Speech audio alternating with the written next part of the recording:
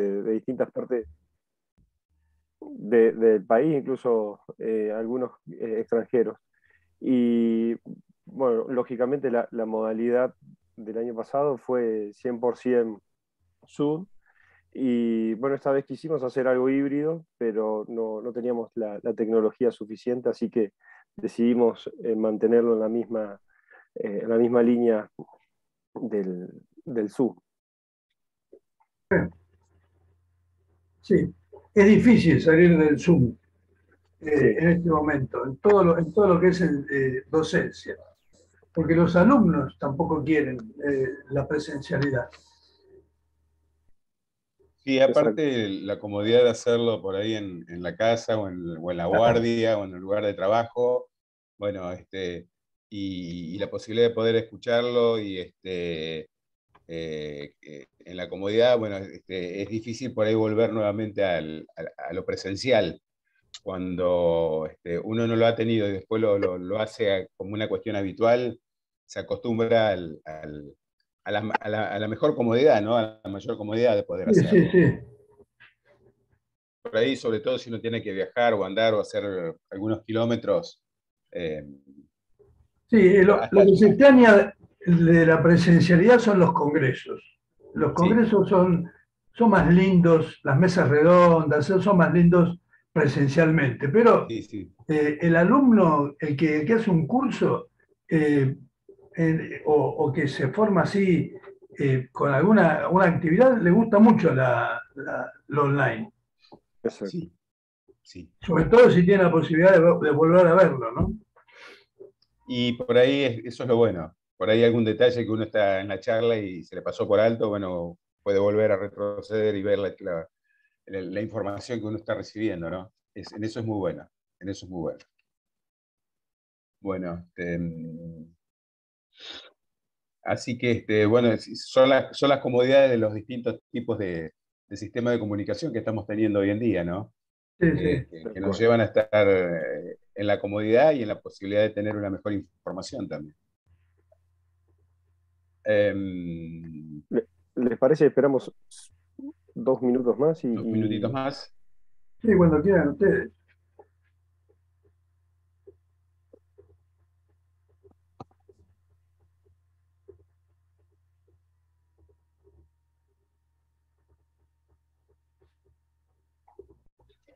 Em, las charlas las suben a, una, a, la a la página web de la Sociedad de Cardiología. Sí, de la Asociación de Cardiología de Santa Fe. Exacto. En eh, YouTube. te, la voy a, enviar. Tenemos el canal de YouTube eh, de la Asociación de Cardiología y te suscribes y, y ingresas. ¿Pueden ingresar socios y algún no socio? Leilen. No, si es por YouTube. Eh, los socios. Entra cualquiera. YouTube sí, es abierto el canal. Ah, bien. Claro, es libre, es libre. Bien. Bueno, bueno, vamos a arrancar, ¿les parece? Eh, bueno, buenas noches a todos. Eh, damos por comenzar la, segunda jornada de actualización en, en ecocardiograma e imágenes cardíacas de la Asociación Santafesina de Cardiología. Hoy tenemos eh, el agrado de, tenerlo a Carlos Bali eh, como coordinador de, la mesa y, a dos grandes eh, maestros de la ecocardiografía como son Horacio Precioso y Tomás Inchuli. Carlos, toda tuya la, mesa. Bueno, buenas noches. Sí, este, hoy vamos a contar con dos maestros de la ecocardiografía en la Argentina, son pioneros de la ecocardiografía.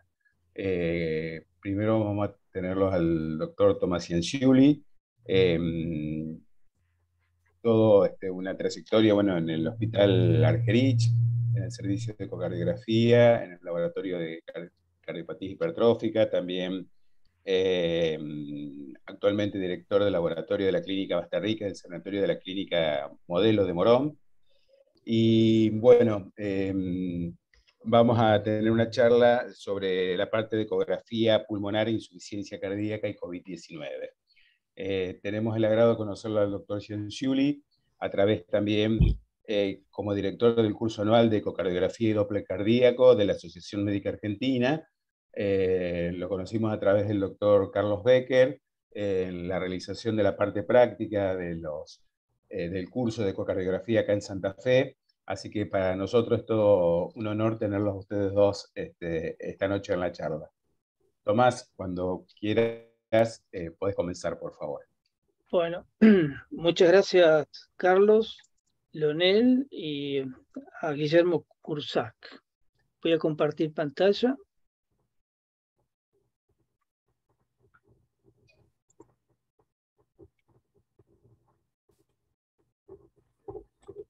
¿Se ve bien?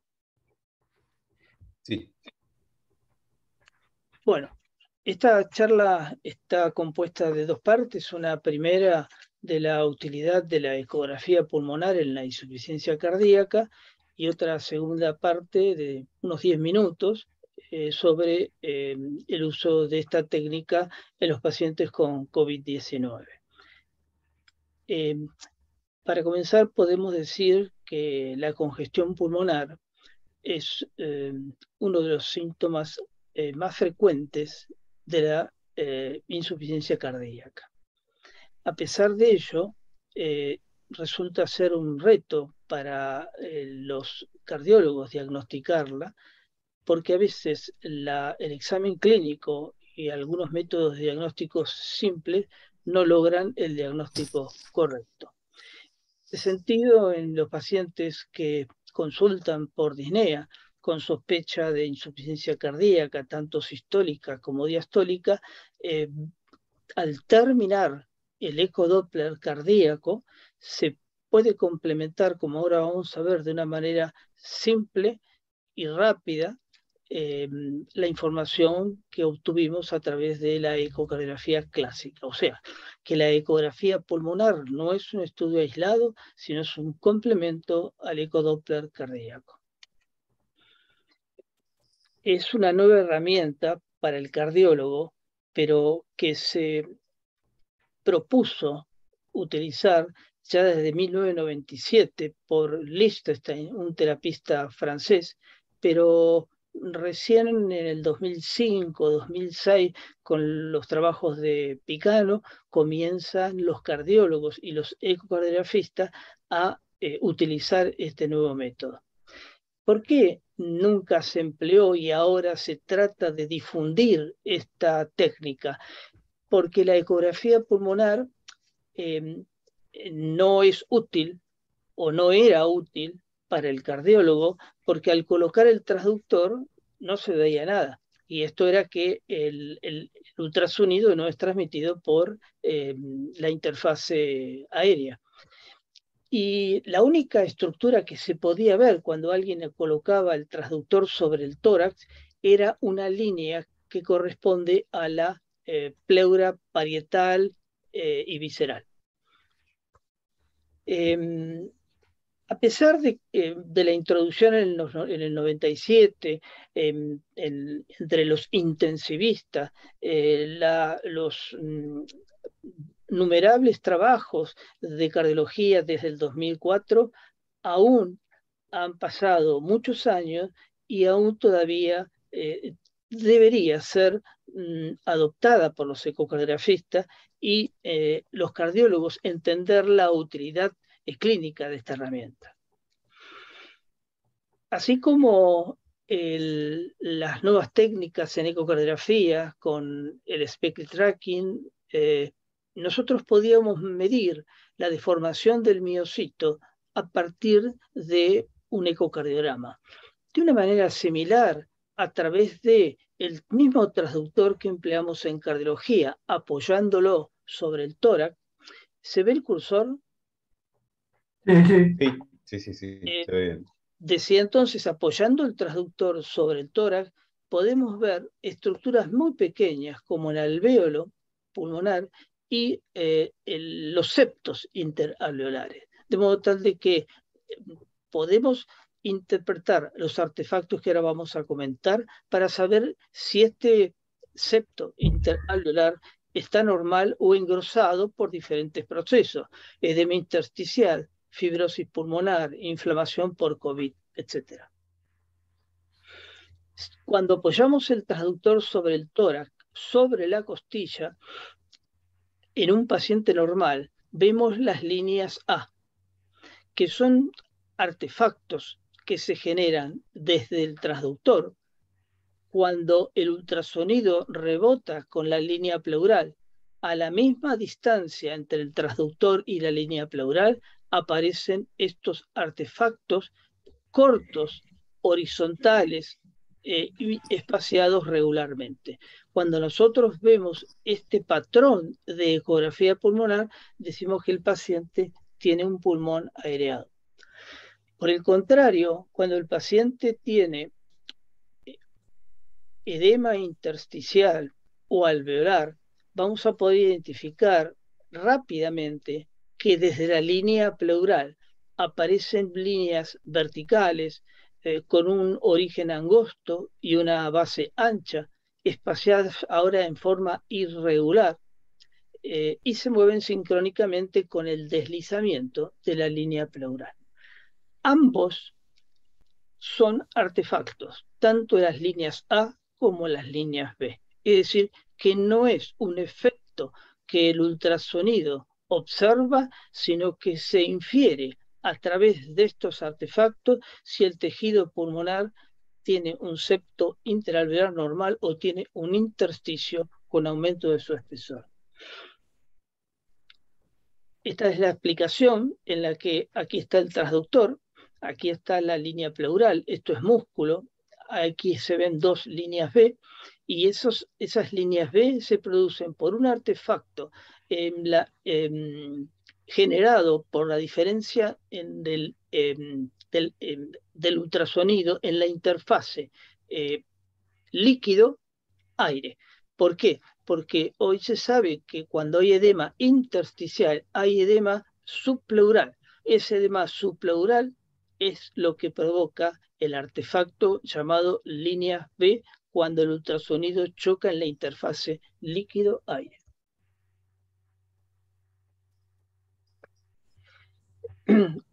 Esta es una histología eh, pulmonar con aumento del espesor eh, del intersticio pulmonar por edema intersticial. La ecografía muestra fácilmente la presencia de varios cometas pulmonares. En presencia de edema alveolar, es decir, cuando em, em, empeora la situación de aumento del líquido extravascular pulmonar, trasudando al alvéolo, nosotros vamos a ver las mismas líneas B o cometas pulmonares que veíamos cuando hay edema intersticial en forma confluente, de modo tal que la confluencia de las líneas B indican presencia de edema alveolar. estos artefactos o cometas, eh, tanto en insuficiencia cardíaca, fibrosis eh, pulmonar y COVID, han sido eh, validados por múltiples métodos. En el caso de la insuficiencia cardíaca, las líneas B se correlacionaron con la tomografía computada de tórax, con la radiografía de tórax con el flujo pseudonormal o restrictivo en el ecocardiograma, con el score de congestión clínica, con las presiones pulmonares y la presión capilar y con el BNP. Esto ha sido demostrado, como se indica en esta diapositiva, el año que se publicaron eh, los trabajos que mm, reportaron la buena correlación entre las líneas B y el edema intersticial. ¿Cómo se hace? Bueno, se colocan gel en la línea hemiclavicular, el transductor horizontal sobre la costilla, en tres espacios intercostales. Cada vez que levanto el transductor, ahí se grabó la cantidad de cometas. Se hace en la línea axilar anterior lo mismo y así obtuvimos seis espacios intercostales derechos. Luego vamos al emitor izquierdo, y lo mismo, tres espacios intercostales en la línea hemiclavicular y tres espacios intercostales en la línea axilar anterior. No lo muestro, pero por cada, em, cada vez que se em, investiga un espacio intercostal, se está viendo cuántas líneas B hay y al final se suman y se obtiene un score. Cuando encontramos mediante esta técnica de escaneo de 12 zonas, y esto es importante porque los primeros trabajos escaneaban 28 y era muy engorroso, hoy en día se simplificó a 12 e incluso 8 zonas. Em, si el ecografista observa tres o más líneas B en más de dos espacios intercostales, eso indica eh, la ausencia de un pulmón aireado y la presencia de un pulmón húmedo con edema intersticial. Fíjense en la línea pleural blanca y que exactamente a partir de esta se originan los cometas. Ahora bien, el cardiólogo cuando termina de hacer el ecocardiograma, colocando el transductor, como ya vimos, sobre el tórax, puede identificar fácilmente las líneas B, siempre que hay que eh, cambiar de preset. Para hacer la ecografía pulmonar se utiliza obviamente el preset pulmonar que ya está en la mayoría de los equipos de última generación. También el cardiólogo puede, eh, en el caso de ser necesario, utilizar un transductor lineal.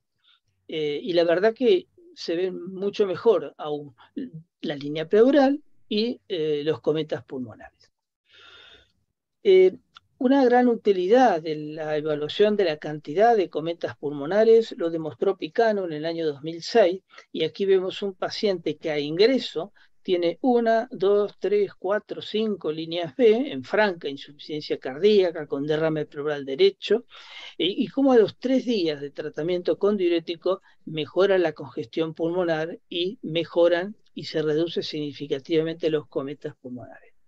De modo tal de que la utilidad de la ecografía pulmonar en la insuficiencia cardíaca es diagnóstico porque permite eh, detectar las líneas B.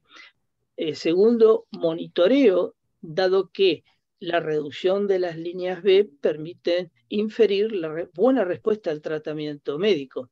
Y pronóstico porque se ha demostrado que aquellos pacientes internados en insuficiencia cardíaca y les dan de alta con líneas B tienen altas tasas de reinternación. Es por eso que lo ideal es que el paciente se vaya no solo en peso seco, sino con un pulmón aireado. Eh, los cometas pulmonares eh, no solamente se ven cuando el intersticio aumenta eh, por, edema intersticial, sino que también se ven los mismos cometas cuando el intersticio tiene aumento de su espesor por fibrosis pulmonar o por tejido inflamatorio, como es el caso del COVID. En estas tres entidades, insuficiencia cardíaca, fibrosis pulmonar, COVID se van a ver los mismos cometas pulmonares. Pero va a haber una gran diferencia entre la insuficiencia cardíaca y la fibrosis pulmonar o, y COVID. Y eso ustedes lo pueden apreciar en la línea pleural. Fíjense en que la línea pleural en la insuficiencia cardíaca es lisa, mientras que en la fibrosis pulmonar y en el COVID es irregular. Esto es muy fácil de identificar y de diferenciar. Eh, el problema está cuando un paciente que tiene fibrosis pulmonar hace insuficiencia cardíaca. A modo de conclusión, podríamos decir que es más fácil ver los cometas pulmonares que interpretar una regular, eh, buena o mala radiografía de tórax mm, eh.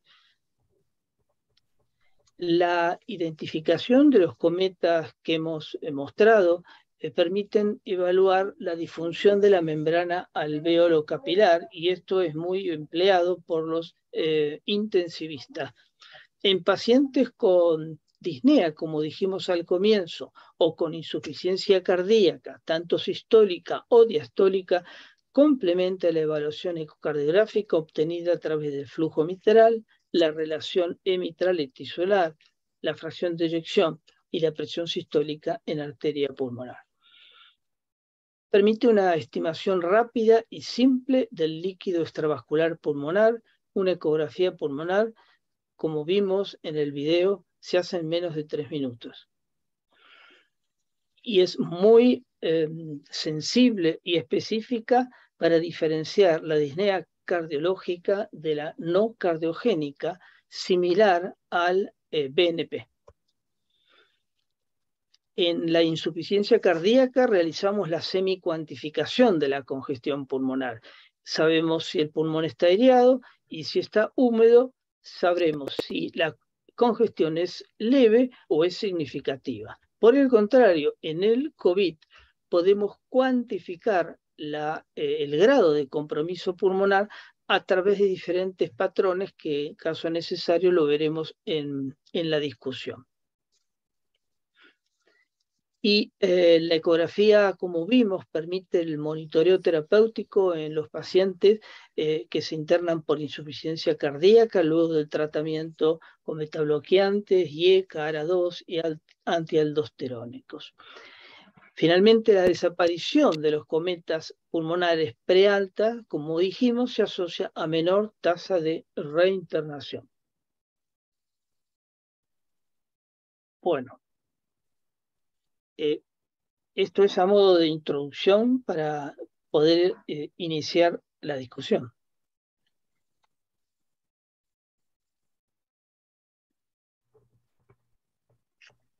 Perfecto. Muy claro, Tomás. Eh, una consulta. En, tus informes, eh, en los pacientes que, vienen con insuficiencia cardíaca, tanto ambulatorios como internados, ¿los informás siempre eh, la cuantificación de la congestión pulmonar? Sí. ¿Consideras que es una práctica que, deberíamos adoptar? Sí, fuertemente, pero no solamente en pacientes internados en cardiología o en clínica por insuficiencia cardíaca, sino también en algunos pacientes ambulatorios que son derivados por insuficiencia cardíaca, ya sea por una miocardiopatía dilatada, por una estenosis aórtica severa o por cualquier cardiopatía que genere disfunción sistólica o disfunción diastólica.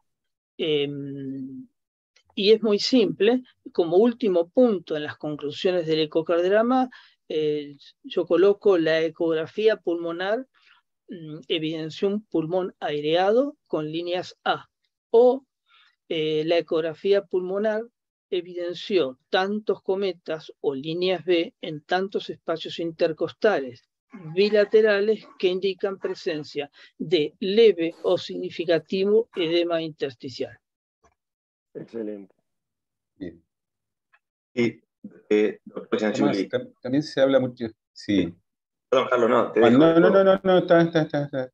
Eh, hace la pregunta, Juan, por favor. Eh, bueno, doctor, muchísimas gracias por, por, la presentación. Básicamente mi pregunta apunta a lo, a práctico. Nosotros es un método que estamos eh, utilizando crecientemente en las unidades coronarias y, en las terapias.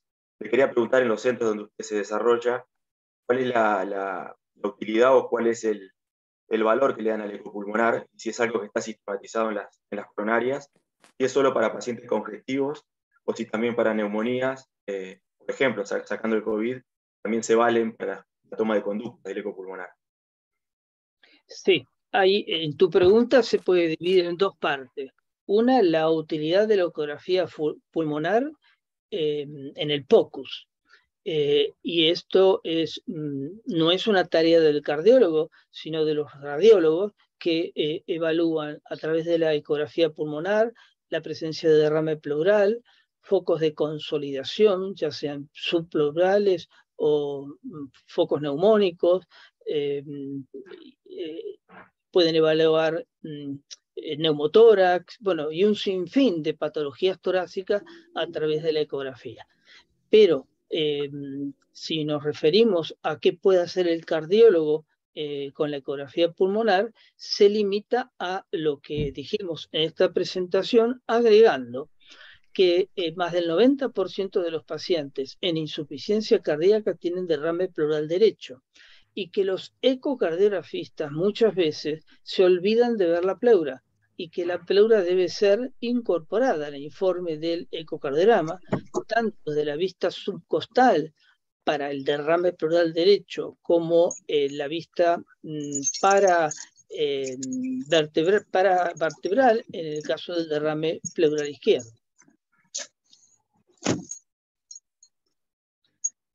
Bien, sí. Eh, eh, mi pregunta estaba relacionada a lo que iba a preguntar, lo que preguntó Juan sobre las distintas este, características o patologías pulmonares que podríamos ver a través de la, ecografía del, pulmón. Así que está respondida. gracias. Bien. al, público en general, eh, si quieren escribir en el chat de la, del, Zoom o hacerle una pregunta a Tomás. Yo le voy a preguntar algo eh, a Tomás. Eh, mi primera experiencia con esto, cuando en el hospital se empezó a hablar de esto, eh, fue en una paciente que no se podía hacer el, el, estudio, revisarla, porque estaba muy disneica y venía de la guardia. y ahí vi los cometas pulmonares que habíamos visto en un ateneo interno nuestro, ¿no? Pero porque se sentó lo, lo, utilicé. ¿Por qué se, se, utiliza nada más que las vistas? La pregunta es, ¿por qué se utiliza nada más que las vistas anteriores? Nunca se utiliza el dorso, que parecería más accesible inclusive.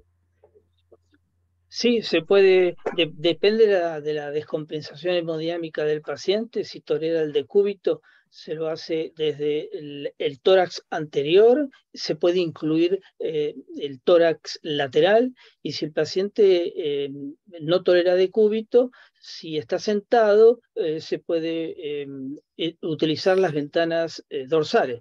En un, en un, paciente con insuficiencia cardíaca va a tener cometas en las zonas anteriores, laterales y posteriores del tórax. Por el contrario, en los pacientes con COVID, en el 90% de los casos, las lesiones son eh, y posteriores, de modo tal que la información que se obtiene con el método en, los pacientes con COVID internado es más útil desde el dorso que del desde el tórax anterior. Y otra cosa, yo jamás puse el preset para pulmón uso el mismo traductor siempre para ver las los cometas. Eh, tiene mucha ventaja eh, usar el traductor de pulmonar, el, el, preset pulmonar. Sí, se nota la diferencia porque supongamos que no tuviera preset pulmonar, hay que hacerlo eh, em, artesanalmente, como cuando no teníamos, ¿te acordás? El Doppler tisular y lo hacemos artesanalmente.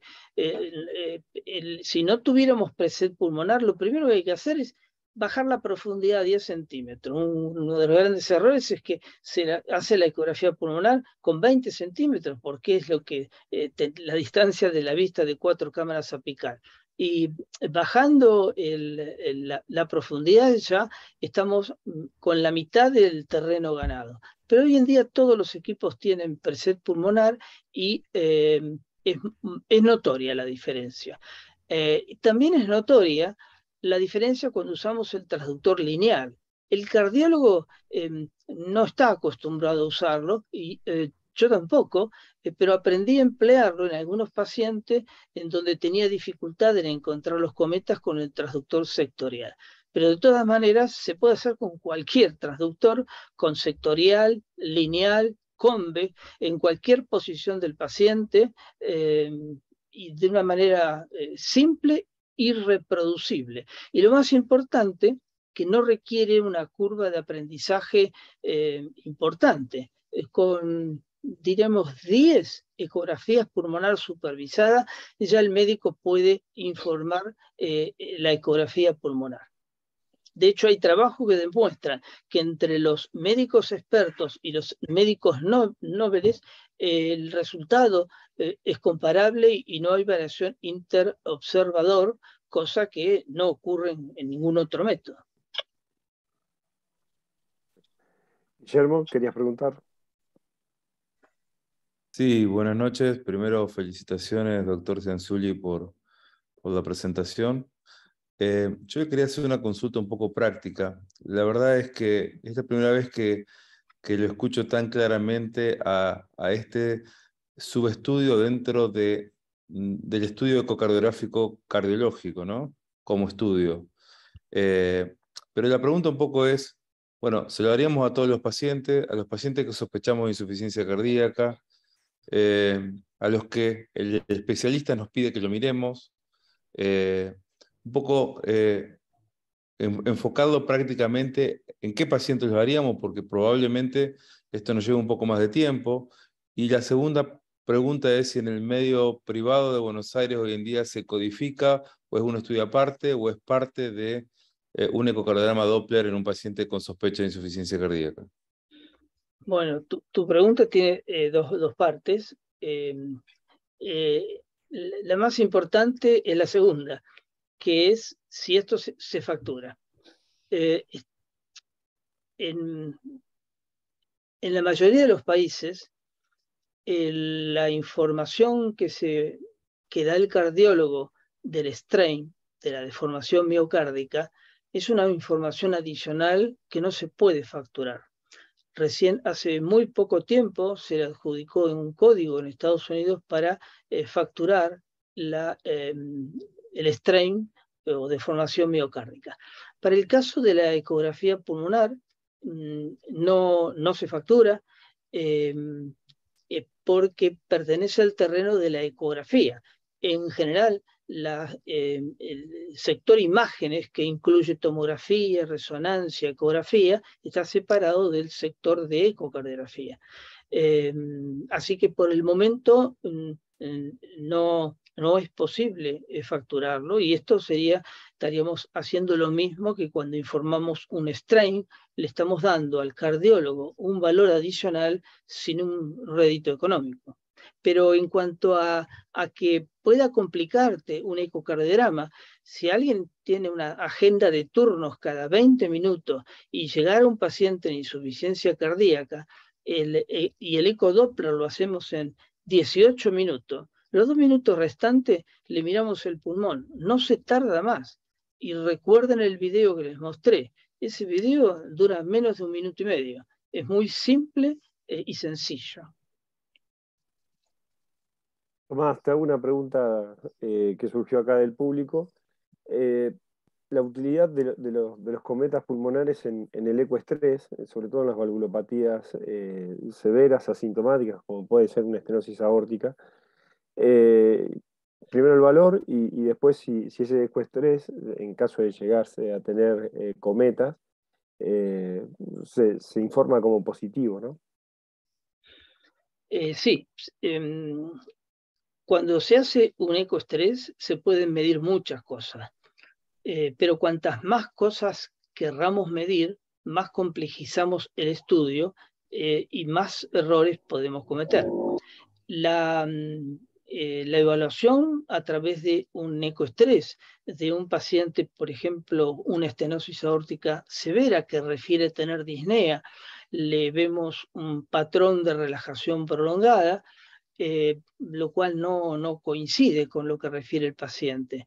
Entonces, lo que hacemos es un ecoestrés diastólico, es decir, se lo somete a mm, dos etapas de muy baja carga, de modo tal de que se taquicardice un, poco el paciente, pero no que se superponga la E con la A. Y si em, la relación emitral y tisular, que supongamos en reposo era de 10, pasa a ser de, de 20, eso habla de que eh, la disnea de que refiere el paciente es por insuficiencia cardíaca eh, diastólica. Eh, por el contrario, si la relación mitral y tisular empieza a 10 y termina en la segunda etapa 10, esa disnea no, es cardiogénica. Lo mismo pasa con los cometas. es muy fácil, después de medir la relación emitral y tisular, apoyar el transductor sobre el tórax, porque es, es, una información que em, es muy, simétrica, que ocupa todo el tórax eh, y es muy fácil complementarla. De modo tal de que un ecoestrés diastólico permite diferenciar disnea cardiogénica de no cardiogénica mediante la, la relación emitral tisular y la aparición de cometas pulmonares. Excelente. Bien. Si no hay más preguntas, Tomás, pasamos a la segunda parte, que es la parte de COVID. ¿Te parece? Bueno, yo en razón del tiempo presenté la primera parte. como me, habían pedido que mm, no hable más de 20 minutos, concentré esto en, la insuficiencia cardíaca. Si, si, les parece, si en cinco minutos puedo compactar la, la información sobre COVID estamos a 9 menos 25. Sí, hacemos cinco minutos y después pasamos a la charla, ¿te parece, Horacio? Y tratamos de obviar las preguntas, ¿te parece? Si hay alguna, la, veremos después. Perfecto. Bien, lo resumo, el, la, la afectación pulmonar del COVID, como ya dijimos, frecuentemente a, compromete los segmentos inferiores, por eso la radiografía de tórax no los puede ver. Y además, es, eh, la mayoría de los em, eh, procesos del COVID son subpleurales. Es por eso que la ecografía pulmonar es tan valiosa en el eh, COVID. Y como también lo dijimos, lo más importante, eh, lo más frecuente en el COVID no es que estén afectados el, el tórax anterior, sino el tórax posterior. En el 75% están afectados los segmentos posterobasales, el más afectado es el póster basal derecho más que el izquierdo y también otro, em, eh, otro segmento muy afectado es el segmento póstero superior. Segmentos que eh, a veces pueden ser complicados ah, evaluarlos con la radiografía de toras. Por eso se dice que la ecografía pulmonar es más sensible que la radiografía y tiene una sensibilidad casi como la tomografía computada. Estos son las eh, dos zonas anteriores, dos laterales y dos dorsales que se pueden hacer según el estado del paciente eh, acostado o eh, sentado. De modo tal de que aquí se utilizan 12 zonas que fue el protocolo propuesto por Rubí publicado en el año 2019. Las líneas B con línea pleural irregular, vean que no es lisa, y esto identifica al paciente con COVID. Eh, líneas múltiples, confluentes, esto implica mayor pérdida de aireación pulmonar y el famoso vidrio esmerilado del COVID es debido al daño alveolar difuso con aumento del grosor del intersticio pulmonar y provoca eh, un eh, pulmón parchado. ¿Qué significa? Acá vemos líneas A y acá vemos líneas B. Eso es porque está focalizada la patología del COVID y no es sistémica eh, como lo es en insuficiencia cardíaca. Hay otros patrones como el pulmón blanco, vean lo que es esto, es como si uniéramos 100 eh, líneas B, o la luz del faro, fíjense que aparece el pulmón blanco en forma intermitente. Esto no se ha visto en otra patología, solo se ha visto en COVID siempre con línea pleural irregular. A medida que el paciente empeora, la línea pleural irregular comienza a tener líneas B. Eh, eh, luego, eh, con el avance del COVID, aparecen las líneas B que son confluentes. Luego aparece el patrón parchado, como vimos, líneas A de un lado, líneas B del otro, el pulmón blanco y el signo del faro que acabamos de ver, y podemos identificar la consolidación. Toda esta información es mucho más compleja que la evaluación de un paciente con insuficiencia cardíaca. Y a medida que vamos progresando en la pérdida de la aireación, vemos estos diferentes patrones. Por el contrario, mediante las maniobras de reclutamiento alveolar, eh, em, pronación, eh, etcétera, eh, van a retrogradar estos artefactos que vemos en pacientes con COVID. Y entonces lo que se hace es con una planilla, se clasifica en patrón 0 con líneas A, patrón 1, 2 y 3 según qué mm, patrón tenga de los que acabamos de escribir, de modo tal que se eh, coloca en una planilla y se informa el score. En este caso, 17 sobre 36. Ese paciente que ingresa a COVID, eh, se lo intuba y, es respirado, eh, ese mismo día o al día siguiente se puede evaluar si ese score aumenta o, o disminuye. Si disminuye, el tratamiento que está recibiendo el paciente es adecuado y si aumenta, se emplean otras maniobras de reclutación. Lo más importante, y con esto terminamos, que em, la ecografía pulmonar en el COVID ha sido muy útil en la guardia y en las UFU, porque cuando venía el paciente con disnea eh, y no desaturaba, eh, y, en lugar de enviarlo a, la, sala de tomografía eh, o radiología, que había bastantes pacientes esperando, con un equipo de eh, portátil en guardia se podía saber si ese paciente tenía o no una neumonía por COVID. Porque ya les dije, como les comenté, las consolidaciones son subpleurales y se ven muy bien con ecografía. Eh, y en, la guardia, eh, cuando uno ya sabe que el paciente tiene compromiso pulmonar, permite distinguir si el síndrome es intersticial o es un síndrome alveolar. Y por último, la ecografía en el COVID como vimos, permite eh, cuantificar la pérdida de aireación eh, según los tres patrones que vimos. La estratificación pronóstica es eh, muy útil en estos pacientes y la, el seguimiento y el monitoreo de los pacientes en terapia intensiva, perdón, en terapia intensiva, estén o no respirados, es de suma importancia porque permiten eh, evaluar las diferentes maniobras de reclutamiento alveolar. Eso fue a modo de muy sintético en seis minutos. Tomás, agradecido, muy este, valiosa la información y, un poco tiempo que lo has dado. Eh, yo, por una cuestión de tiempo, me gustaría pasar eh, a continuar con la charla con el doctor, este, con Horacio, con el doctor Precioso. Eh, bueno, lo que dijimos hoy, un reconocido ecocardiografista de vasta trayectoria en nuestro país, eh, también este, su trabajo en el Hospital Argerich, en la Clínica Basta Rica y en la Clínica Modelo de Morón.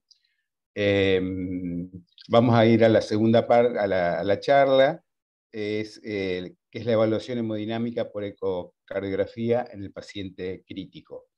Es este, sumamente interesante, nosotros acá en Santa Fe estuvimos trabajando en la evaluación de pacientes críticos en terapia y en unidad coronaria, tenemos la guardia muy cercana, así que hemos tenido experiencia también en la evaluación rápida y pronta del paciente en emergencia y realmente es de una este, utilidad, eh, cuando uno lo sabe aprovechar, espectacular. Así que, Doc, eh, estamos esperando su charla muy ansioso. Bien.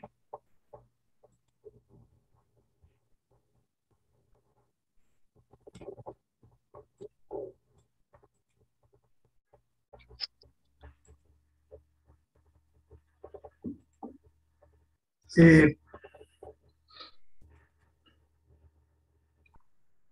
los pacientes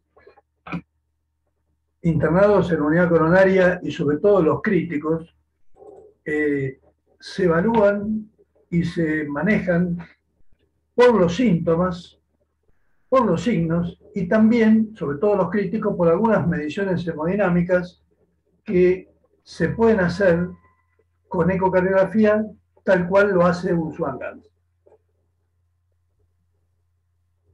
Eh, les agradezco a ustedes la invitación, ante todo. Eh, y, la, y charlar, que siempre nos comunicamos de alguna otra forma, pero ahora nos vemos las caras. Eh, y quedo a disposición para cualquier otra, otra cosa que ustedes necesitan, necesiten de tipo docente. ¿no? Desde ya, muchísimas gracias. Bueno, entonces, ¿qué mediciones se necesitan en un paciente internado hemodinámicas, ¿no? En unidad coronaria la, función sistólica del ventrículo izquierdo. Generalmente se pide la fracción de eyección, pero todos sabemos que es, la fracción de eyección es solo uno de los componentes de la función sistólica. La presión de fin de diástero del ventrículo izquierdo, que en general se corresponde con la huella. La tensión arterial media, que por supuesto esto no lo da el eco, sino que es un, cálculo que hacemos, que vamos a usar para algunas mediciones. el volumen minuto, la resistencia vascular sistémica, todo lo derecho, la función sistólica del BD, la presión venosa central, la resistencia vascular pulmonar y la presión sistólica pulmonar, y adicionalmente evaluar si, el paciente requiere líquidos y cuál es la respuesta a su aporte y a si se puede seguir administrando líquidos a ese paciente, por lo menos presuntamente en shock, por ejemplo. Todo esto se puede hacer por ecocardiografía. ¿Y cuánto de eh, exacto, veraz o aproximado es todo esto? Función sistólica. La, función, la fracción de edición representa solamente la función de cámara. La función de edición principal es la numérica, cuando decimos 65%, por ejemplo. La función de bomba está representada por el volumen minuto y la función miocárdica por la DPDT izquierda, por el estrés parietal y por el strain.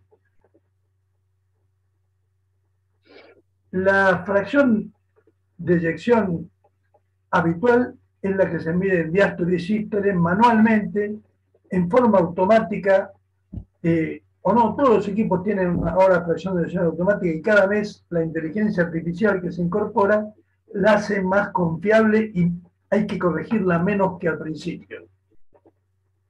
Esta es la fracción de eyección numérica.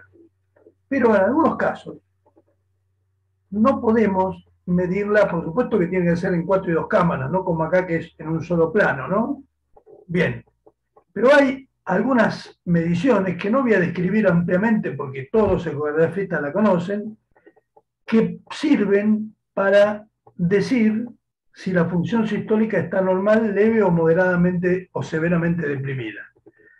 La distancia mitoseptal, un vieja, una vieja medida del modo M, que es un fenómeno diastólico que pretende medir la función sistólica, la excursión sistólica del anillo mitral, que es tal vez el método indirecto más utilizado y sobre todo por los no ecocardiografistas, por ejemplo en terapia, la fracción de acortamiento clásica si no hay anomalía de la contracción, la fracción de eyección subjetiva, que todos la hacemos, pero nunca lo decimos del todo.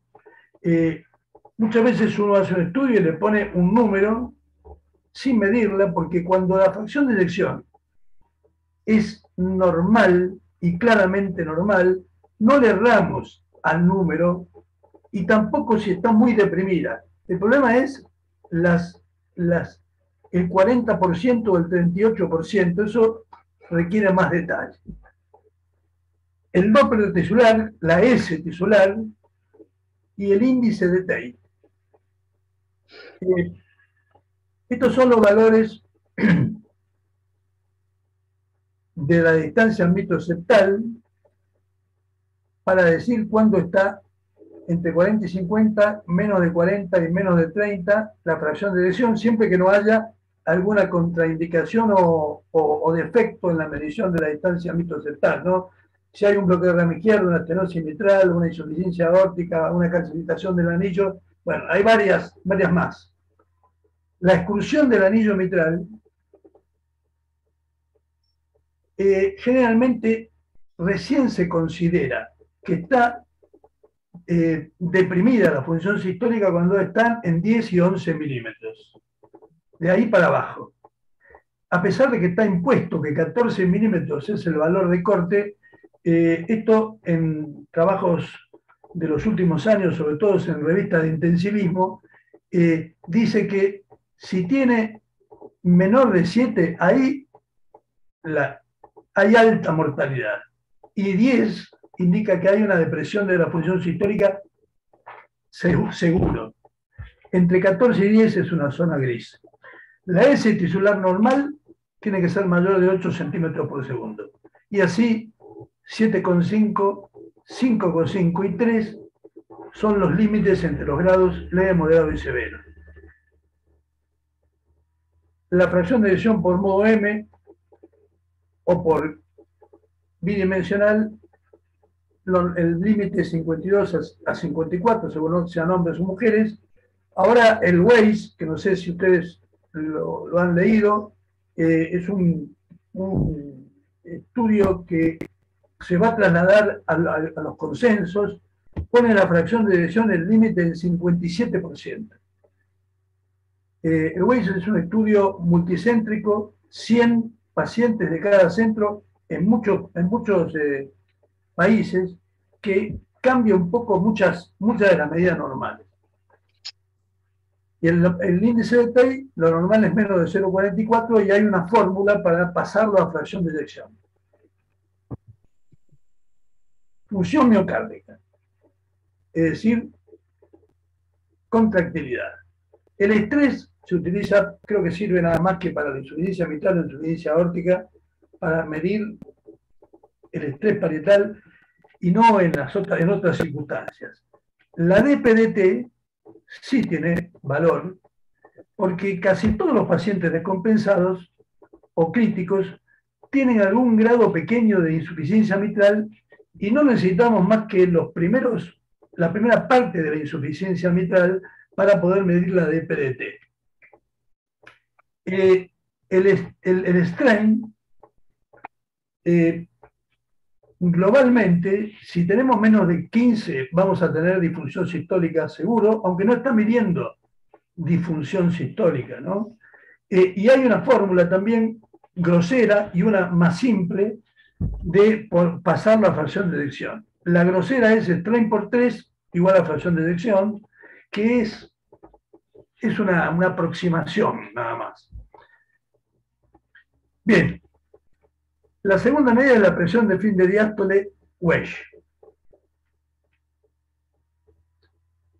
Lo clásico, todos sabemos, es que a medida que aumenta la presión de fin de diástole, va cambiando de normal a relajación prolongada, a pseudo normal a restrictivo y de restrictivo irreversible, que es el que no, va, no, pasa a relajación prolongada cuando eh, se hace la maniobra de Valsalva.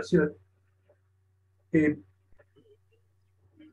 pero eh, no todo es tan lineal, porque el normal y el, el, pseudo normal son muy distintos clínicamente. Este paciente, el pseudo normal, está, no está bien, y en consecuencia tenemos que recurrir a veces a otras cosas.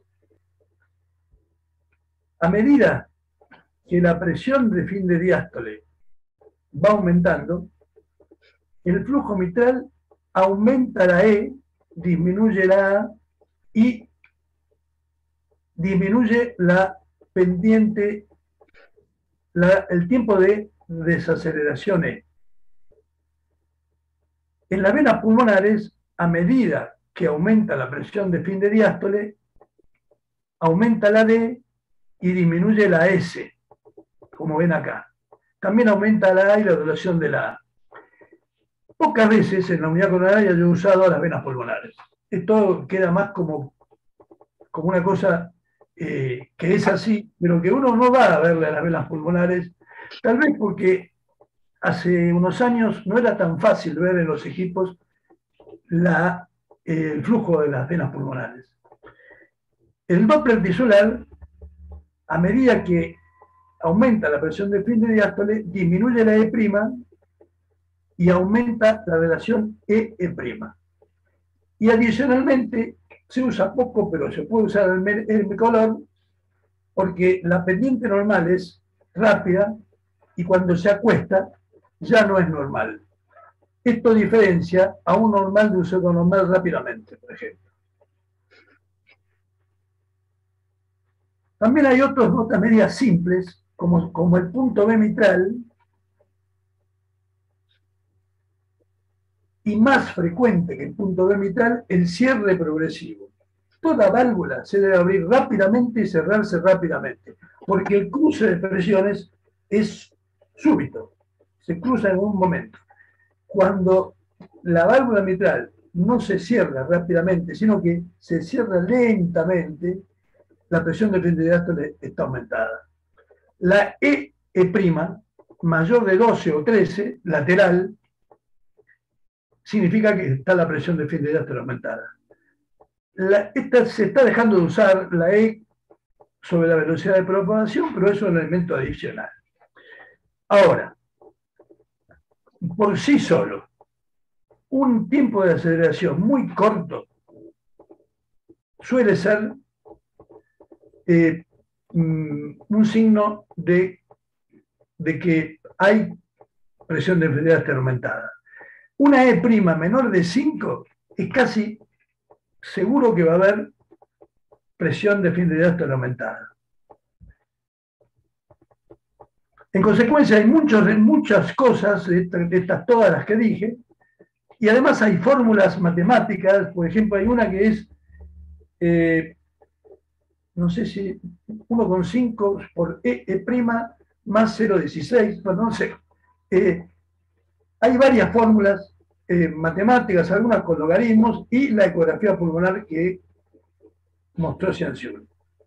Es decir, que lo más fácil de todo es saber si el paciente está o no congestivo.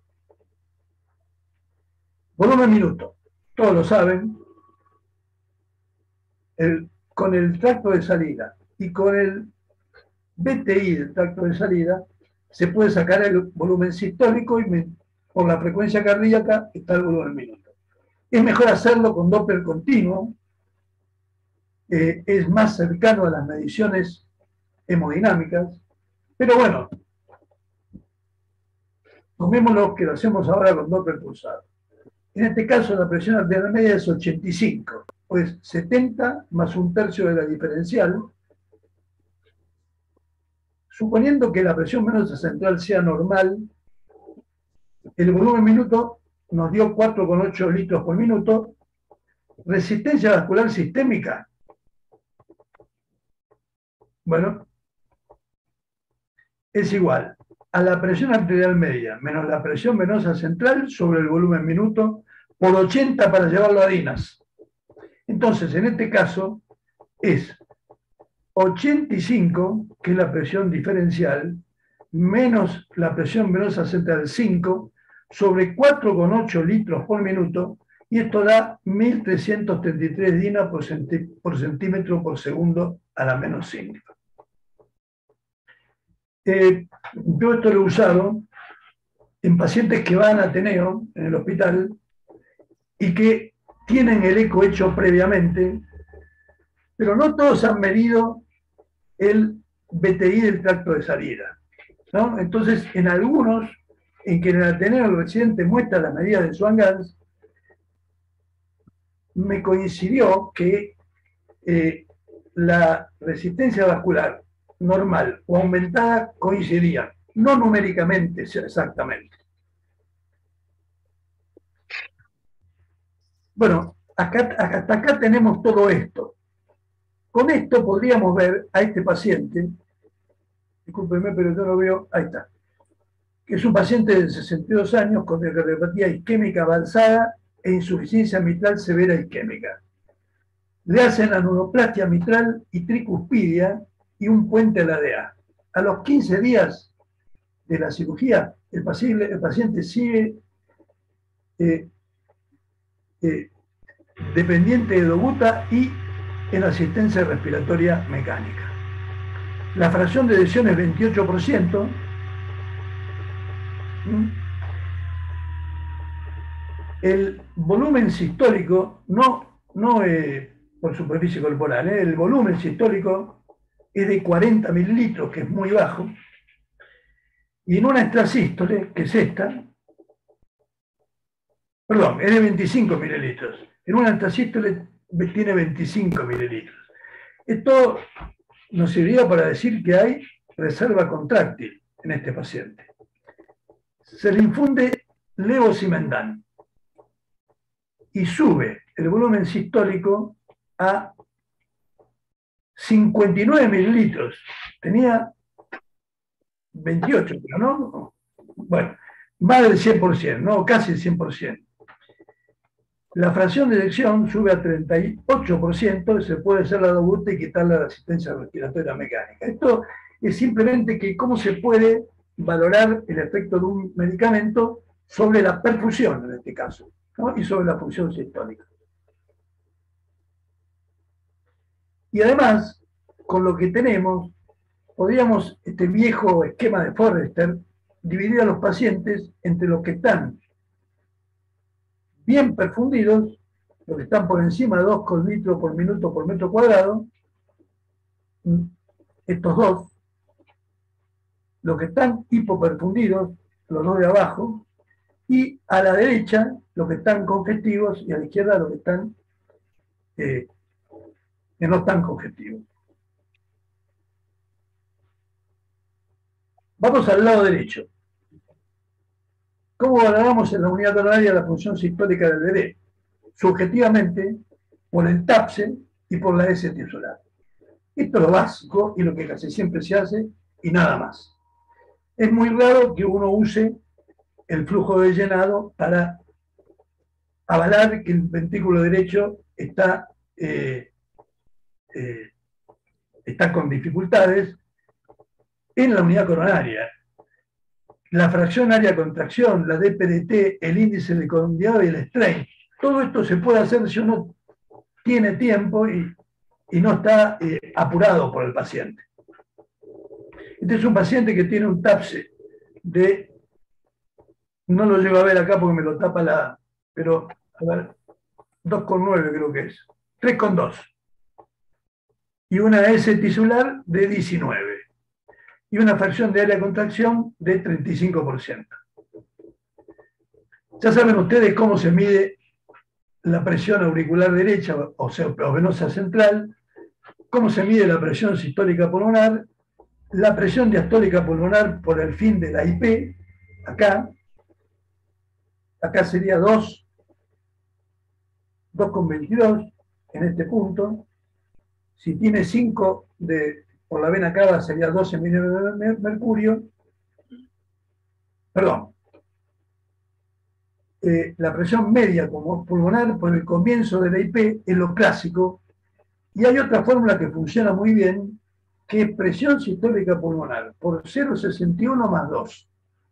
En este paciente, que tiene 27, de presión sistólica sería 27 por 0,61 más 2, 18 milímetros de mercurio.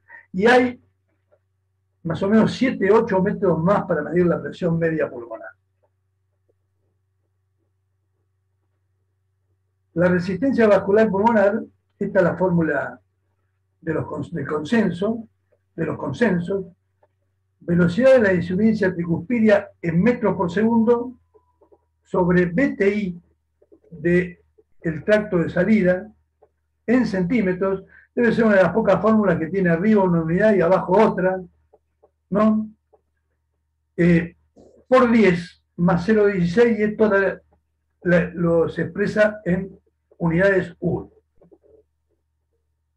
Este es un paciente con una presión pulmonar de 20 y una vena cava normal. En consecuencia, la, presión sistólica pulmonar es 25. Si usamos esa fórmula de presión media, 17 da la presión media. Este es el BTI del tracto de salida, que es 22,2. Entonces, la resistencia pulmonar es 2,25 metros por segundo por 22 de BTI por 10 más 0,16 que da 1,17 unidades UD. Yo les aseguro que en todos los pacientes que no tienen nada, esto da normal, da siempre menos que 2 unidades UD. Eh, es decir, que eso lo hice 40 veces, digamos. Eh, bien. Entonces, este sería lo, lo que uno debería recordar para la unidad coronaria en un paciente, en todos los pacientes o en algún paciente eh, crítico sobre todo. Medir la fracción de lesión por OD y subjetiva y todo lo demás que dijimos está subrayado o, en negrita lo más común que se hace, la presión de fin de diástole con todo lo que hablamos, la presión media, el volumen minuto, la resistencia vascular sistémica, que igual estos son los valores, ¿no? De unidades de, dinas por centímetro era menos 5, los extremos, la fracción, la, función sistólica ventricular derecha, la PVC, la presión pulmonar, la presión diastólica pulmonar y la presión media pulmonar. Por último, la evaluación de los requerimientos de líquidos y la respuesta al aporte.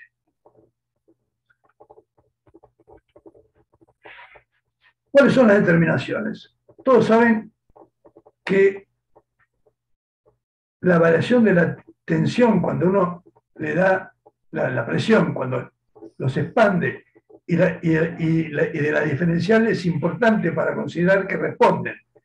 Y, la colapsibilidad de la vena cava. La vena cava que colapsa bien, generalmente responde al volumen. Lo que tenemos ahora es la variación del volumen sistólico más de 15% y la elevación pasiva de los miembros inferiores más de 12%. Este es un paciente que tiene un BTI bajo, 10 centímetros. La tensión arterial es 75-55 y está con 94 por minuto. Se le infunde 250 mililitros y el BTI sube al 20%, es decir, aumentó un 100% la perfusión, la presión subió sin modificarse la frecuencia cardíaca. Es decir, podemos monitorear el, eh, el aporte de líquidos y la respuesta a ellos. Este es otro paciente que tiene un BTI de 10,5, está hipotenso, sudoroso, taquicárdico, se le infunden 400 mililitros y tiene 18,1 de BTI. Aumentó 80% el volumen sistólico o, la, o el BTI. Pero sigo, le doy 200 mililitros más y queda igual. Si yo siguiera, va, voy a generar congestión por detrás del ventrículo enfermo. Ya esto me dice, bueno, acá hay que parar. Por supuesto que también monitoreamos los, datos clínicos. Esto es un apoyo hemodinámico a la acción. Este es un paciente hipotenso, sudoroso, taquinoico, ligúrico, que se le, se, le, se le, levanta las piernas, tiene 12,6 centímetros de BTI, y al levantarle las piernas, lo que le aporta más o menos 300 mililitros de líquido, eh, más o menos a 40, 40 o 45 gramos, grados, aumenta a 14,6. Es decir, creo que esto es 13% o 15%, no, no recuerdo. Este paciente, al que le decimos esto, necesita volumen. Necesita que le den más líquido, que le den líquido. Bien, hablamos de todo y espero las preguntas. Eh, hay muchas circunstancias en que se puede utilizar estas mediciones hemodinámicas que yo las tengo todas en el PowerPoint al final, pero no, no, me voy a poner a hablar de cada una. Eh, sí puedo, si hay tiempo, mostrar un paciente internado en unidad coronaria en la que se hace un informe del eco, qué es lo que yo he tratado en el hospital que se haga. Que no se haga un informe del eco, sino que se haga un informe del eco con la hemodinamia.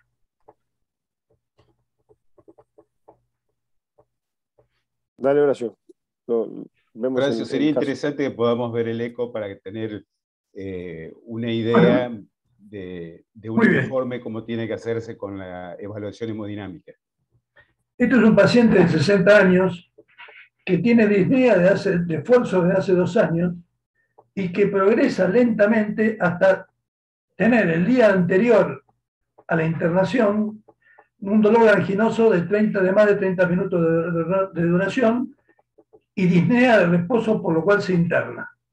Cinco años antes tuvo un IAM, cuando ingresa, va directamente de la guardia a la unidad coronaria, disneico, sudoroso y con 90-60.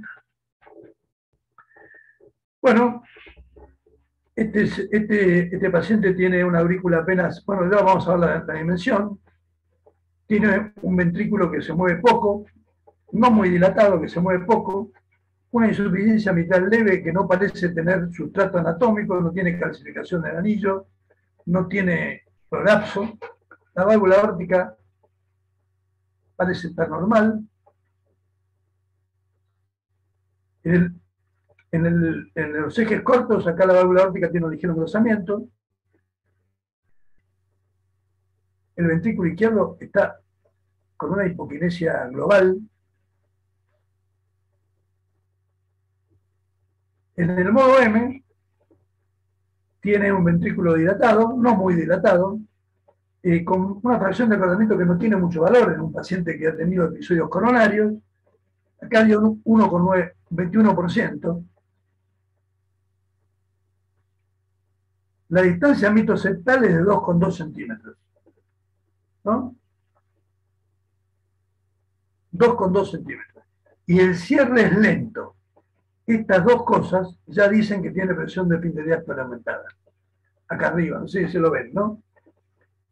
La fracción de edición hasta ahora tenemos una fracción de acortamiento, tiene un span que yo saqué diapositivo porque esta es una charla más larga, tenía 0,9.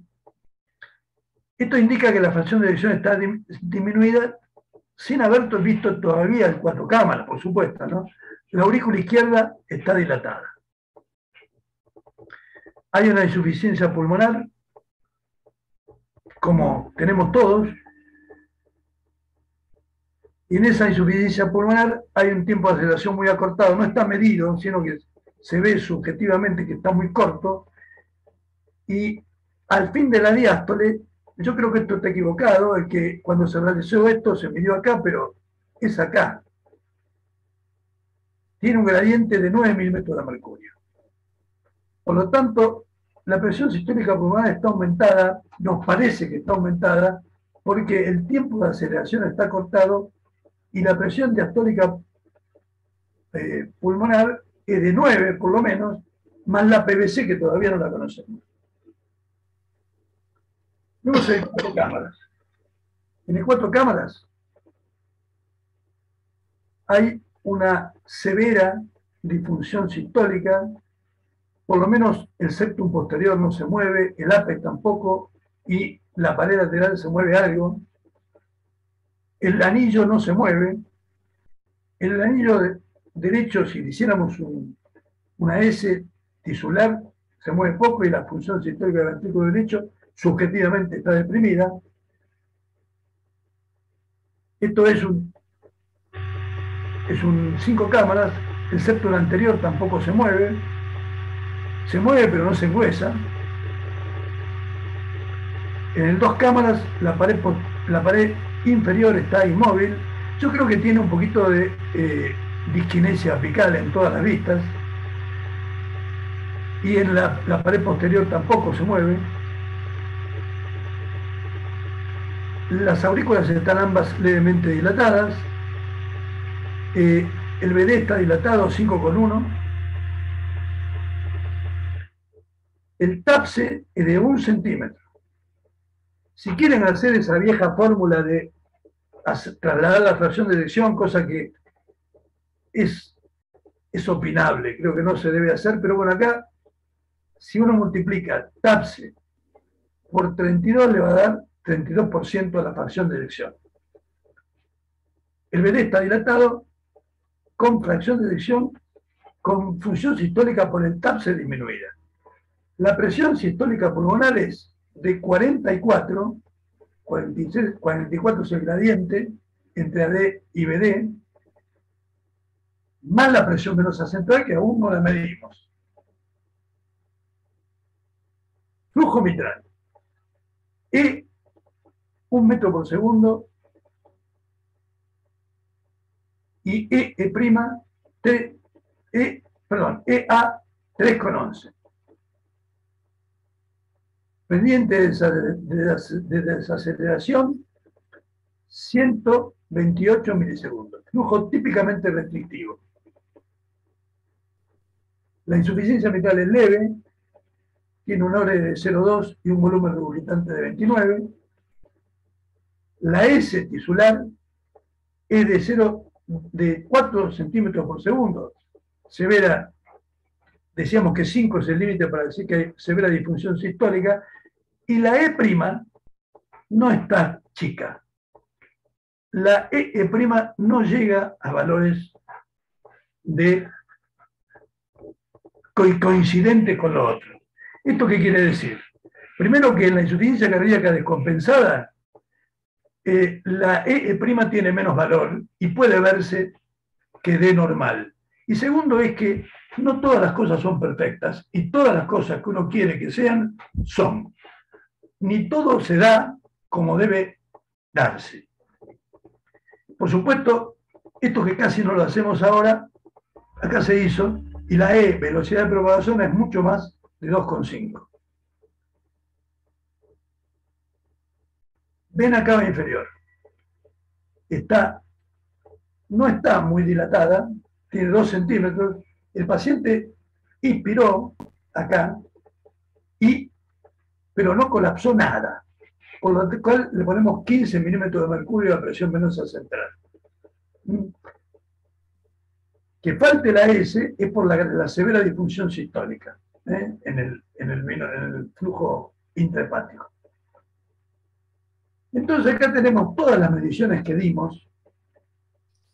Vemos por su costal, bueno, ¿y cómo, cómo hacemos el informe de este paciente? Hacemos, según el esquema que cada uno tenga, el cuadrito de medidas y después ponemos ventrículo izquierdo moderadamente dilatado, 36 milímetros, por metro cuadrado, con grosor parietal normal y severo deterioro de la función sistólica. Fracción de eyección visual, 20%. Yo creo que cualquiera de ustedes no le da más de 20% a ese ventrículo, ¿no? Excepto un 2,2. Aquinesia apical inferior, posterior el septum posterior. El APES aparece, además de con marcada hipoquinesia global de las pocas paredes que nos quedan, que es la pared lateral, creo. Flujo de llenado restrictivo. EA3, tiempo de aceleración 128. Con otros signos que indican un significativo aumento de la presión de fin de datos de la OE. No la E', como se dijo acá, sí la E velocidad de propagación, el cierre lento mitral. Además del, del flujo restrictivo eh, pulsado, ¿no? La aurícula izquierda está levemente dilatada. Estudio efectuado en ritmo sinusal, 77 por minuto, tensión arterial 90-60, TAM 70, volumen minuto 226 litros por minuto, índice cardíaco 1,3 litros por minuto por metro cuadrado, resistencia vascular sistémica aumentada. Yo, que hice este informe, no pondría ahora el valor, pondría resistencia vascular sistémica aumentada ventrículo derecho dilatado, 5,3 centímetros en su base, con severa depresión de la función sistólica, TAPSE 1 centímetro, fracción de eyección 32%, aurícula derecha levemente dilatada, ven acá inferior. Acá parece que en otra, parte se debe haber sido 2,2, con disminución del colapso respiratorio. Bien, Presión sistólica pulmonar 54-59, presión diastólica pulmonar 18-23, arteria pulmonar no dilatada. No sé qué más dice acá abajo, a ver. Bueno, y, ore eh, y insuficiencia mitral leve. Es decir, que hemos visto todo esto y Podemos decir ahora que este paciente tiene una secuela de ANI inferior, posterior y DVD con actual y ANA apical, porque el electro era de un infarto agudo apical, remodelado, con severa depresión de la función sistólica, hipotenso, con volumen minuto disminuido y presión de finalidad aumentada, resistencia vascular sistémica aumentada, es decir, shock cardiogénico típico, volumen minuto disminuido, presión de finalidad aumentada, resistencia vascular sistólica aumentada, sistémica aumentada. fallas de BD, hipertensión pulmonar moderada y presión venosa central aumentada. Bueno, a mí me parece que uno no debería desperdiciar en un informe, inclusive en un paciente que está internado compensado, destacar que la huella es normal, que el volumen de minutos es normal, todas estas cosas, incluirlas en el informe de unidad coronaria. Bueno, quedo a su disposición. Hay una pregunta en el chat que no sé qué es. Sí, muy interesante la charla, este, Horacio. La verdad que eh, hemos tenido muchas charlas, pero creo que es la primera vez que tenemos una charla del paciente eh, de monitoreo hemodinámico en el paciente crítico. Y la verdad que uno, este, son eh, muchas mediciones las que has dado y muchos parámetros que uno puede llegar a tener en cuenta, más allá de los cardiólogos que estamos ya con algunos almanaques encima y que nos hemos criado con el Swan Gans y con la Vigileo y que este, después nos hemos dado cuenta a través de las mediciones del eco y del monitoreo que podíamos obtener eh, una información tanto o mejor todavía que las que nos podían dar los métodos mecánicos habituales, sin, por supuesto, sin, sin obviarlos, ¿no? Pero uno ha aprendido a través del tiempo a tener una, mejor vista de, los distintos, de las distintas mediciones que podemos llegar a, tener. Em, no sé si tenemos alguna pregunta, Ale, o si, si, si hay en el chat. Sí, yo quería hacerle una pregunta eh, a, cualquiera de los dos, a, Tomás o a, Horacio. En el paciente con fibrilación auricular, eh, ¿cómo, interpretamos la, relación E', eh, que muchas veces el paciente congestivo tiene relaciones E' normales, y, y los BTI también del tracto de salida? no sé, está Tomás que parece que se fue Tomás, ¿no? No, está, está Tomás. Pero por ahí. Estuve presente en toda la charla. No estuvo presente. Bueno, eh, es, tu tema ese, la E' y la fibrilación auricular. Sí, es, la pregunta eh, eh, que le pone palos a la rueda al ecocardiografista, donde todo lo teórico se le viene abajo y tiene que zafar como puede. Eh, para mí los valores, eh, los, ah, em, eh, los parámetros más importantes para evaluar aumento de las presiones de llenado en pacientes con fibrilación auricular es, primero, la velocidad pico mayor de 80. segundo, un flujo restrictivo donde no vamos a tener la relación EA para saber si lo es, pero sí vamos a tener un tiempo de desaceleración muy corto, como dijo Horacio, menor de 140, 130 milisegundos. Eh, yo he intentado hacer relación emitral y tisular eh, en pacientes fibrilados, eh, siempre y cuando no haya marcadas diferencias del periodo diastólico. La, mm, la velocidad de propagación del modo M eh, eh, confirma de que el paciente con FA tiene algún grado de disfunción eh, y, hay algo muy, muy práctico, no se sabe por qué ocurre, está descrito y es algo visual. en pacientes con FA, las variaciones que tienen las velocidades pico son a la vista significativas. Cuando un paciente que tiene FA está en insuficiencia cardíaca, esas variaciones significativas mm, se reducen mucho o pueden llegar a desaparecer. No hay un valor de corte, no hay un valor numérico, es algo visual y a mí me ha resultado muy útil. Yo agregaría que si uno ve una fibrilación auricular, va a encontrar siempre que hay en un momento tres latidos que son más o menos parejos.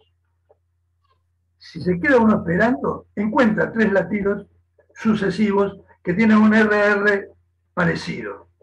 Entonces, ahí se podría intentar hacer la E' un poco mejor que, que, con, la, que, que con una fibrilación que varía permanentemente.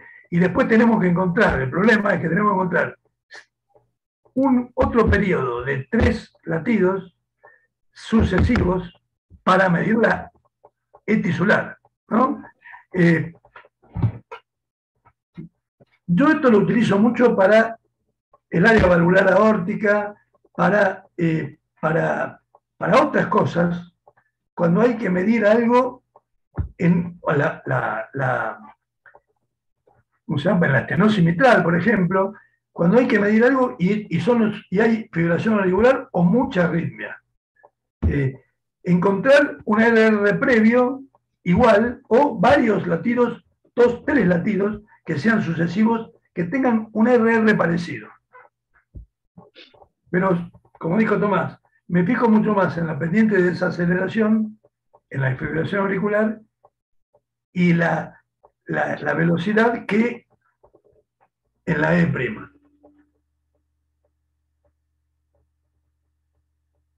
Bien.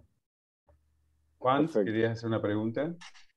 Eh, eh, Leonel me sacó la pregunta, quería preguntar puntualmente la FA, que es nuestro talón de Aquiles, eh, pero en, lo personal, a veces en esos pacientes trato de utilizar la vena pulmonar superior derecha con, siempre gatillada con el, con el electro. Quería preguntarles básicamente si, si pierde valor la relación de onda S con onda D en el caso de la FA o si es un valor que podemos seguir utilizando.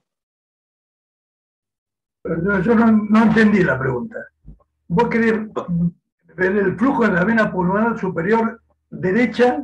O sea, que es la que, es la que tenemos más accesible en general en el, en el, en el cuatro cámaras.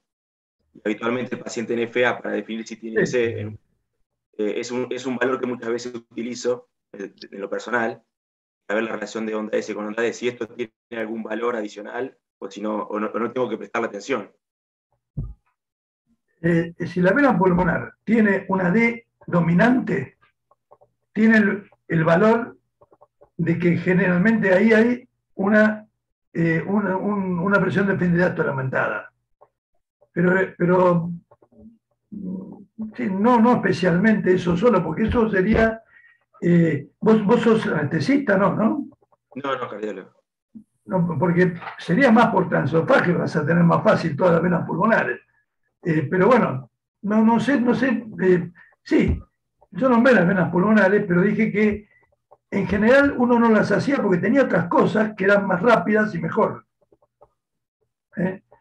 Pero las venas pulmonares sí, tienen una S pequeña y una D alta, eso es indicio de que hay disfunción sistólica severa o, o, presión de pendidato aumentada.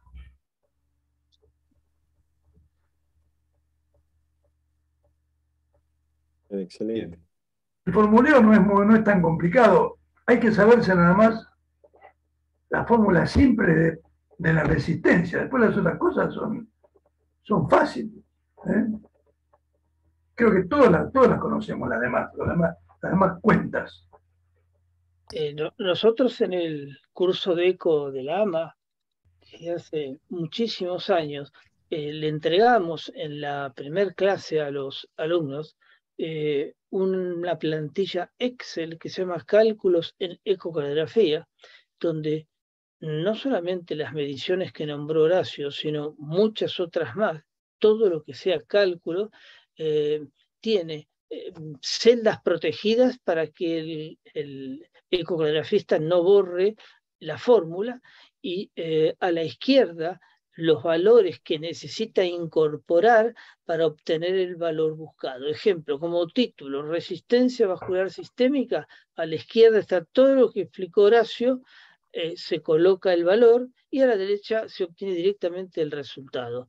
Esto va para el orificio reclutante efectivo, el cálculo de la valvular aórtica, hay más de 30 mediciones. Hoy en día eh, los valores de cortes normal o, limítrofe eh, son muchos, no los podemos tener ya en la memoria. Esto es como cuando tenías, nos acordábamos los celulares de los amigos y con el, advenimiento del celular no nos acordamos ni el celular del cónyuge. este, de modo tal de que la planilla de cálculos eh, agiliza al médico en la obtención de una fórmula. algo que es muy eh, típico, que, el ecografista Nobel se traba cuando tiene que evaluar el índice del volumen histórico. Horacio lo explicó muy simple, pero el, ecografista se olvida a veces cómo se obtiene. Entonces carga en la, en la planilla de Excel peso, talla, eh, mm, BTI, tracto salida del anillo, y automáticamente le da el índice del volumen histórico para ver si es menor o mayor a 35 mililitros por metro cuadrado. Bien. Entonces, si tenemos alguna otra pregunta del, del auditorio.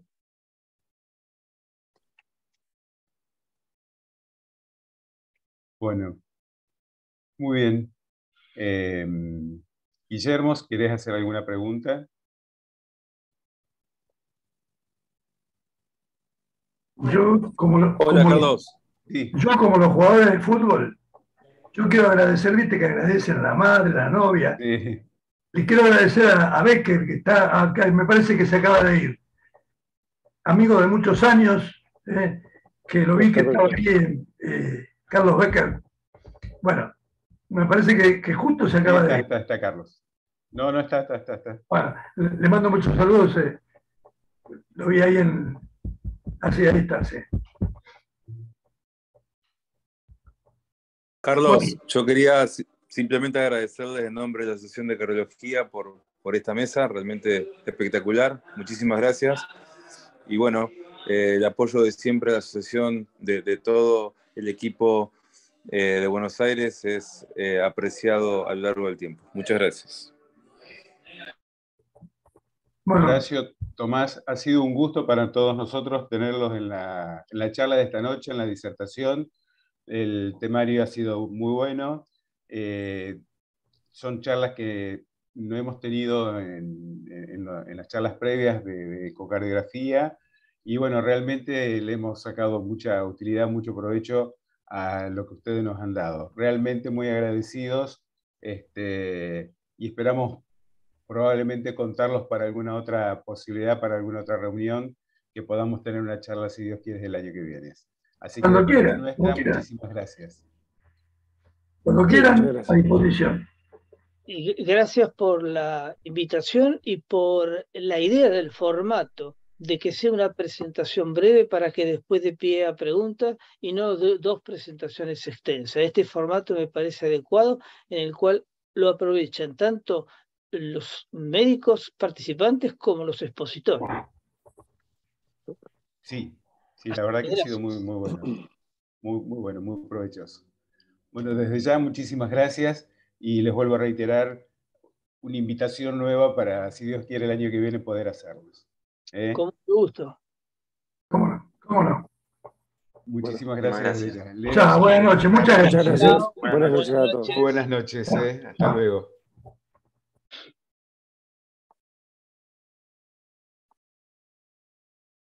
¿Cómo salgo de acá?